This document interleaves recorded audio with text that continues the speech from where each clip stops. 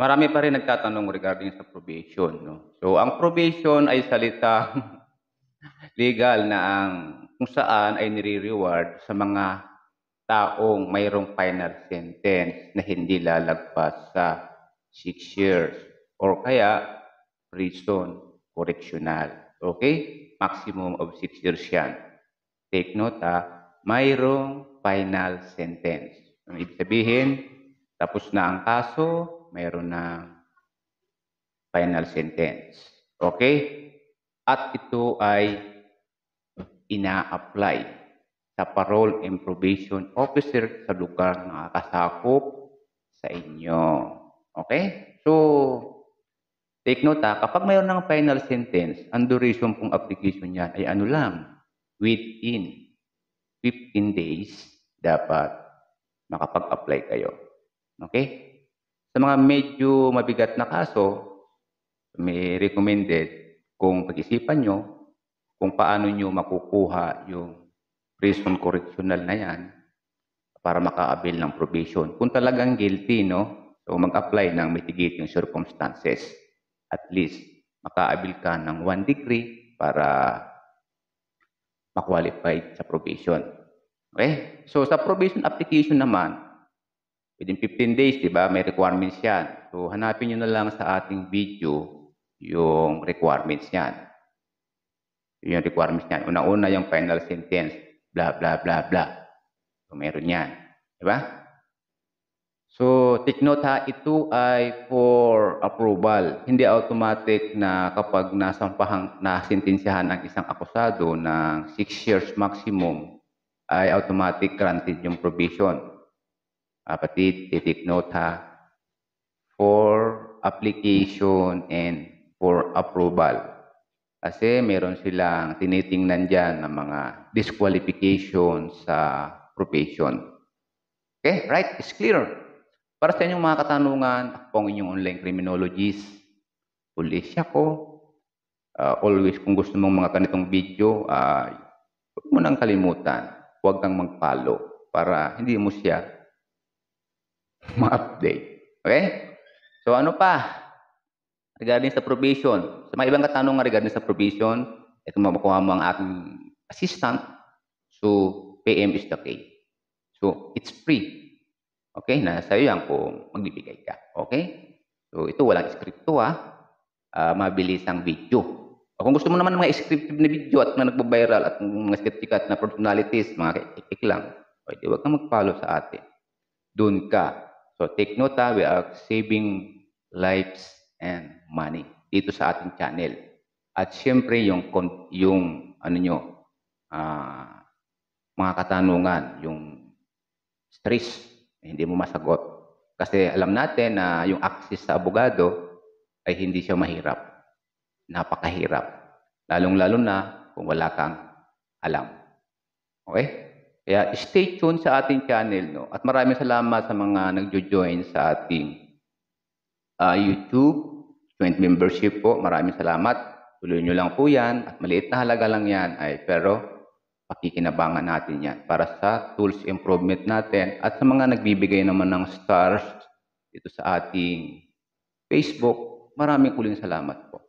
At may recommended ako sa inyo na CCTV camera kung mayroon na kayong wifi. So, may mga may mayroon lang wifi ha, kapag wala pa kayong wifi, relax lang kayo. Magantay kayo magkaroon ng wifi. Ito ay sa mayroong wifi na AC installed bulb lang ang socket niya. Kung may sina kayong bulb, kapalitan nyo lang ng CCTV footage. So, mayroon na kayong security camera at pwede nyo nang i-connect, pwede nang makikita yung mga anak nyo, mahal nyo sa buhay, kahit nasaan man kayo naroon. Luzon, Visayas, Mindanao o kaya sa ibang bansa. Okay? Shortcut na tayo. At yun nga, kung gusto kayong assistant, get appointment po para magtama yung oras natin. So hindi po joker yung oras ko kung kailan nyo gusto ay sasagutin ko kayo. Hindi po ganun tayo. May mga linya po ang ating oras. May mga naka-assign. May duty for work, duty for social media, others. So get appointment please. Huwag nyo akong kulitin na sagutin kayo kung mga tanong-tanong yung walang winta, no? napaka-basic lang naman. So ngayon, kung maghanap kayo sa dyan, maraming videos dyan, no? na kailangan nyo. Ngayon, kung, may, kung mayroong, huwag kayong tamad. Ah, kung mayroong kayong walang maintindihan, saka kayo magtanong. Okay? Yung iba kasi kay karamihan sa atin tamad. Gusto isusubo na lang. Ayaw pang kainin, no? Sinusubo na lang. Tandaan po natin, napakahirap i-acquire ng learning. So, it's a work. Hindi ko po yan one time ka lang na, nakinig kay pulis siya po, na, nadaan mo lang sa iyong ah, wall, eh, marunong ka na. Alam mo na lahat. So, hindi po ganun. So, a lot of time and money po para mag, para mag ano, para matuto. Okay, yan lang po muna ang mang, ating probation, no? At madali lang po kapag under probation na ang isang akusado o isang PDL na. So madali lang gagawin yan. So napaka-basic. Ang unang alam ko dyan ay may mayroon kang probation officer na doon ka magre-report from depende sa kanilang instruction kung ilan. Pwedeng twice a month, thrice a month, so depende din sa karakter ng ano. At yan ay take note, may, may background check yan, depende yan sa inyong ah, performance or character sa inyong community. Kung sirang-sira kayo doon, ay maaaring ma-disapprove kahit yan 6 years lang. At pero absolutely, kung good character ka naman in community, ah, wala naman dahilan siguro para, unless na hindi mo pa nagagamit yung probation mo, wala naman dahilan siguro na hindi ma-approve ang isang akusado. O yun, nasa may mga kasong maliliit na, na naiisip agad ay kulong. At sa mga magdidemanda naman, na kapag nagdemanda ka ay may isip agad ay kulong. So ito po yung last card ng isang akusado para hindi makulong sa mga maliliit ng na eh, mga petty crime. Take note sa sentensya, ah, maximum of 6 years. Walang one day ha. Okay? So once again, sa mga gusto ng maraming tanong, mag-get appointment po kayo para ma-assist kayo. Normally, open po tayo tuwing 9 a.m. to 11 or 12 a.m.